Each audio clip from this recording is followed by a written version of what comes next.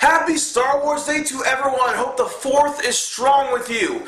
Here we go. Every month, up until the point that Episode 7 comes out, I will be reviewing every single Star Wars movie. Unfortunately, we gotta start here. I'm so sorry. This is the intro, bitch. So just watch my shit. That's what I'm talking about today. Star Wars Episode 1 The Phantom Menace. I'm going to start off by saying I'm only 21 years old. I was born on June 1st, 1993. That's right, I will be 22 in less than a month. I don't know about you. I'm feeling 22. I was not among the people lining up to see this movie when it came out. I was six years old. I was still sticking crayons up my fucking nose. So I was not one of those people like, oh my god, Star Wars, yeah! Let's go into this movie. Now, this movie, it's. It's, it's just terrible, guys. Every performance is just blah. Is, is that a term, blah? I guess it is. Like, oh god, I don't even know where to fucking begin. The force is strong with this one. His name is Anakin, we must train him. Nothing can get through a shield. Every single line, except for Jar Jar, I'll, I'll get to that fucker in a minute. It's just blah. I, every perform I can't even fault the actors because the actors are good actors except for Jake Lloyd who played Anakin. That's, that's who he is. I mean, Liam Neeson is a great actor. Bryan Mills himself, Oscar Schindler, he is in this movie. Ewan McGregor's in this movie. Natalie Portman is in this fucking movie. I mean, they they are good actors, and they sold their soul. Now we come to the point. The thing that I really hate about Star Wars Episode One is this fucker, Jar Jar Binks. I I hate him. I really I hate him like I hate rich people.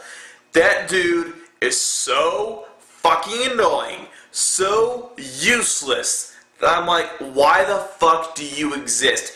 He talks like a black guy in the 1850s. Like he talks like he was a slave. It's like, no, no, Misa stay.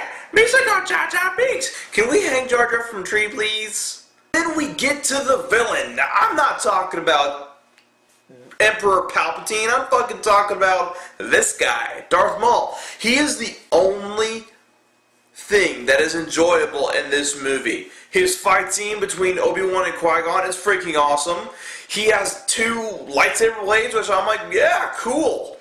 I'm like, why do people hate him? He's like the only good thing about this movie. He is freaking awesome. And then he just dies. Why? Why, why does he die? And then there's the pseudo-political dialogue. That I mean, political dialogue can be good. We've all seen movies where that shit exists. It can be really good. But no, it's just more blah. I'm like, oh god, okay. See, at the when they get onto Coruscant, that's where every child in the world just checks out and goes to play with Star Wars action figures. Hell, that's the point of this movie, right? To sell action figures. I swear to God, that's the only point of this movie. It is just so ridiculous. Guys, I was six years old when this movie came out. I enjoyed it when I was a kid, and then I kind of grew up and learned that it's bullshit. And you can't even enjoy this movie when you're drunk because I have been drunk and watched this movie. It does not work. I'm sorry. So I gotta say that Star Wars Episode 1 is dog shit.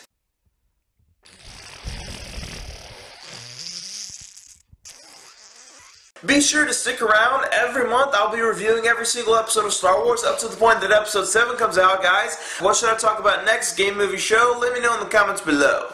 Hey everybody on YouTube, have a Twitter page, I have a Facebook page, I have a Google Plus page, so go ahead and hit that shit. The Facebook page is, you know, for Florkerta TV. The Twitter page is at for Florkerta TV. It's pretty fucking basic. I'll put a thing like here. And the Google Plus page, you you get it. Hit that shit, add me to your circle, hit that like button, hit that subscribe button here on YouTube, follow me on Twitter, do it all so you can stay up to date with my shit. What should I talk about next? Game every show, let me know in the comments below.